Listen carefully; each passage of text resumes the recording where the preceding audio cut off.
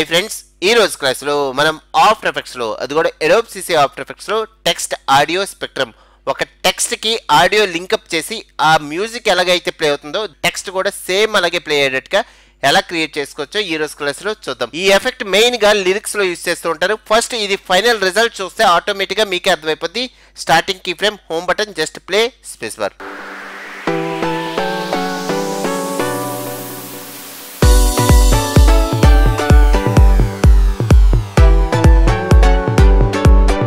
ఇలాగా music file అనేది ఒక టెక్స్ట్కి అలాగే బ్యాక్గ్రౌండ్ ఇమేజ్కి అటాచ్ చేయడం ఎలాగో ఈరోజు క్లాస్లో చూద్దాం. ఫస్ట్ వచ్చేసరికి ఫ్రెండ్స్ ఈ వీడియోకి టూ హండ్రెడ్ లైక్స్ టార్గెట్ ఇస్తున్నా. ఇదంతా మీ చేతిలో ఉంటుంది. మీరు లైక్ చేసి నన్ను సపోర్ట్ చేయండి. మీకోసం ఇంకా చాలా వీడియోస్ తీసుకొస్తా. ఓకే క్లాస్ స్టార్ట్ చేద్దాం. ఫస్ట్ ఇక్కడ ఉన్న ఫైల్స్ అన్ని డిలీట్ చేసేద్దాం. Just delete. ఓకే. నెక్స్ట్ ఒక న్యూ కాంపోజిషన్ కావాలి. ఇక్కడ కాంపో ఐకాన్ ఉంది. Just click. Okay okay.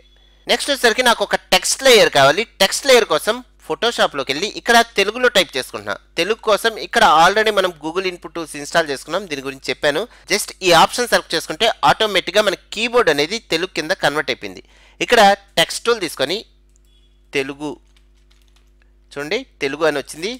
Next space bar next వచ్చేసరికి డీజే అనేది నాకు ఇంగ్లీష్లో కావాలి. డీజే అని టైప్ చేయగానే మనకి last option DJ okay next ఇక్కడ తెలుగు కీబోర్డ్ జస్ట్ ఇంగ్లీష్ కింద కన్వర్ట్ చేసుకుంటున్నాను ఓకే నెక్స్ట్ ఈ టెక్స్ట్ అనేది copy just right click copy next after ఎఫెక్ట్స్లోకి వచ్చి టెక్స్ట్ టూల్ తీసుకొని జస్ట్ పేస్ట్ ఆటోమేటిక్గా మనకి టెక్స్ట్ లేయర్ వచ్చింది కానీ ఇక్కడ కనబడట్లా. ఎందుకంటే మనకి కలర్ అనేది బ్లాక్ కలర్లో ఉంది.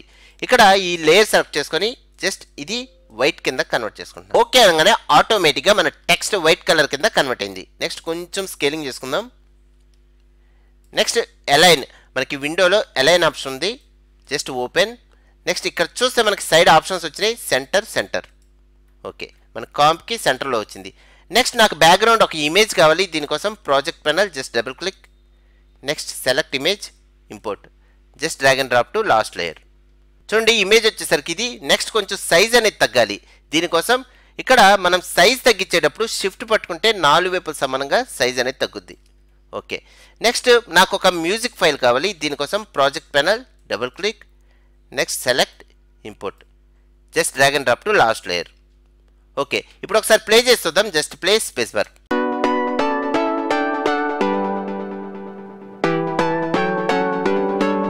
చూస్తే మనకి టెక్స్ట్ అలాగే బ్యాక్గ్రౌండ్ ఫైల్ అంటే బ్యాక్గ్రౌండ్ ఇమేజ్ రెండు మూమెంట్ లేదు జస్ట్ స్టేబుల్గా ఉండిపోయినాయి. నెక్స్ట్ అలాగే మ్యూజిక్ ఫైల్ వచ్చేసరికి నాకు కొంచెం బీట్ కావాలి. బీట్ కోసం కొంచెం ఇది మూవ్ చేసుకుంటున్నా. ఇప్పుడు ఒకసారి play చేస్తుందాం just play space bar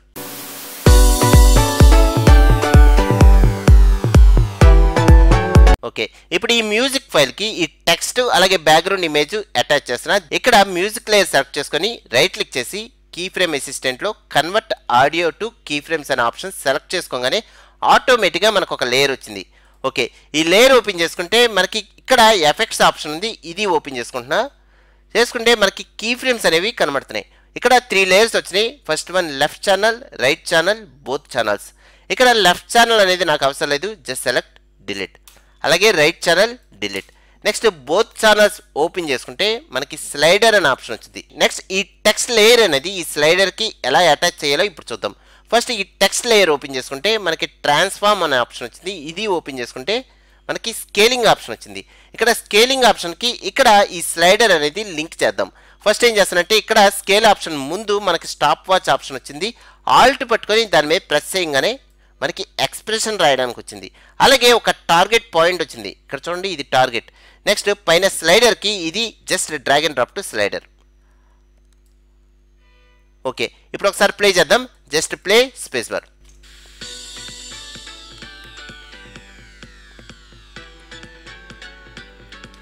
చూస్తే మనకి టెక్స్ట్కి అటాచ్ అయింది కానీ ఏంటంటే టెక్స్ట్ అనేది బాగా స్కేల్ డౌన్ అయిపోయింది. ఇప్పుడు చూడండి జూమ్ అవుట్ చేస్తే కానీ మనకు కనబడట్లా. ఓకే. దీనికోసం ఇక్కడ మనం ఆల్రెడీ ఆల్ట్ పట్టుకొని ప్రెస్ చేసాం కాబట్టి ఒక ఎక్స్ప్రెషన్ అనేది వచ్చింది. దీనికి ఇంకొంచెం ఎక్స్ప్రెషన్ అనేది యాడ్ చేద్దాం. Just space bar plus next open bracket. Next నాకు స్కేలింగ్ పెరగాలి కాబట్టి దీనికి ఏం చేస్తానంటే ఒక four hundred comma four hundred. Next close bracket. ఇప్పుడు ఒకసారి ప్లే చేద్దాం. చూడండి స్కేలింగ్ అయింది just play space bar.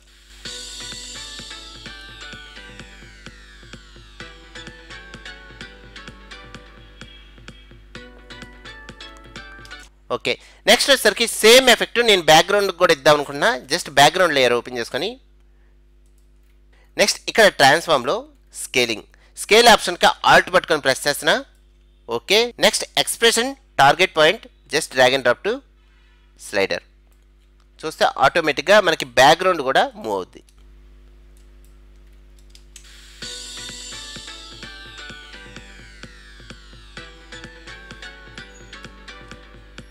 Okay next వచ్చేసరికి ఈ లేయర్కి కూడా నేను ఎక్స్ప్రెషన్ అనేది యాడ్ చేస్తున్నా. Just space bar plus space bar open bracket next hundred percent ఇస్తే సరిపోద్ది. Hundred comma hundred close bracket okay ఇప్పుడు చూస్తే మనకి ఫుల్ స్కేలింగ్ అయింది. నెక్స్ట్ ఒకసారి ప్లే చేద్దాం. ఇక్కడ టైల్డ్కి ఎస్కేప్ కింద టైల్డ్కి అనే ఆప్షన్ ఉంది. క్లిక్ చేస్తే ఫుల్ స్క్రీన్ మోడ్లో కనబడుతుంది just click next play space bar